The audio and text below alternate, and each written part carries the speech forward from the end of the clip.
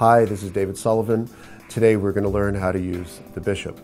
Each side begins with two bishops in a game of chess. They stand on either side of the king and queen who are in the middle. You can kind of remember that by thinking that the bishops married the king and the queen. That's how they they get that the right to stand next to them. Uh, a bishop might look kind of funny. I remember when I was a kid, I used to think he always looked like he was frowning, but actually the bishop looks the way it is because he's representing a priest that's wearing a mitre, a type of hat. Uh, bishops move along the diagonals. Diagonals in, on a chessboard are these slanty lines that are all colored in the same. You get one bishop that moves on dark diagonals, and you get one bishop that moves on white diagonals.